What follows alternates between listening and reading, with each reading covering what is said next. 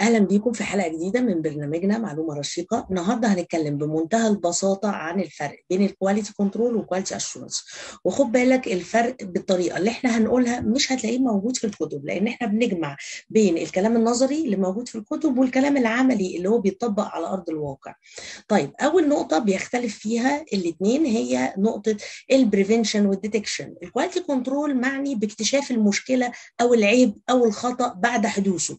يبقى المنتج already بينتج دلوقتي على خطوط الإنتاج الخدمة already بيتم تسليمها للعميل وهو بيفحص عشان يكتشف المشكلة. إذا هو ال quality control function is a detection function أو function معمولة لاكتشاف الخطأ أو اكتشاف العيب أو اكتشاف المشكلة. على العكس تماما ال quality assurance is a prevention function يعني إيه؟ يعني هو function معنية بال prevention منع الخطأ قبل حدوثه عن طريق إنها بتشتغل على ال planning التخطيط للإنتاج وللمنتجات والخدمات قبل ما أبدأ في إنتاجها أو أبدأ في تنفيذها.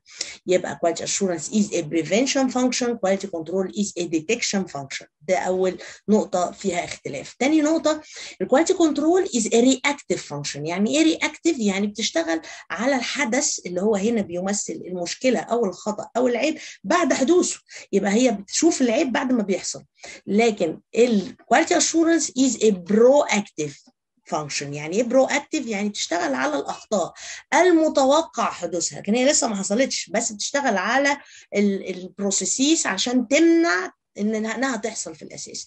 يبقى إحنا قلنا لغاية دلوقتي ال quality assurance is proactive function. Quality control is a detection uh, reactive function. طيب إيه الفرق تاني بينهم؟ الفرق إن برضو بينهم فرق أساسي إن ال quality control بيركز على المنتج أو الخدمة الملموسة اللي إحنا بنقدمها للعميل.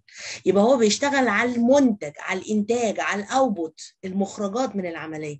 لكن اليابانيين دايما يقولوا لك إحنا بنستغرب الناس اللي دايما يشتغلوا على مخرجات العملية اللي هي بتبقى بايظة وما بيرجعوش يبصوا على العملية اللي هي أصلا خرجت المنتجات اللي بايظة دي. طيب ال quality assurance هو اللي بيقوم بالدور ده. يبقى quality assurance is a process oriented function بتبص على العملية اللي أنتجت المنتج.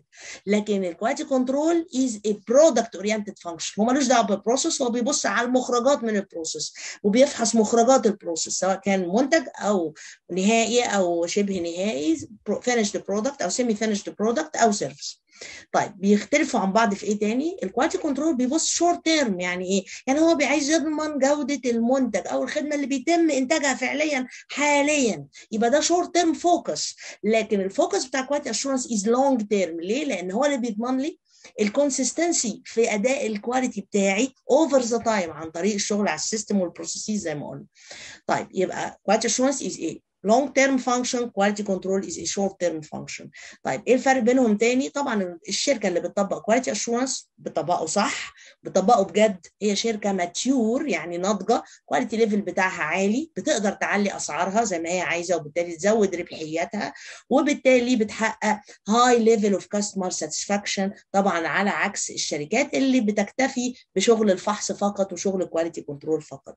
يبقى آه سريعا الفرق بين ال quality assurance وال quality control قلنا quality assurance prevention function quality control is a detection function uh, quality assurance يعني منع بتشتغل على المنع quality control بيشتغل على الاكتشاف quality assurance is a proactive function بتشتغل قبل ما المشكلة تحصل quality control is a reactive function يعني بتشتغل على المشكلة بعد ما تحصل قلنا quality assurance بيفوكس long term لكن quality control بيفوكس short term قلنا quality assurance is a process oriented function بتبص على البروسيس لكن quality control mainly is a product oriented function where customer satisfaction and the, and the level of maturity of the organizations بيعلى أكتر طبعا في الشركات اللي بتهتم أكتر بال quality assurance function شكرا جزيلا واشوفكم على خير المره الجايه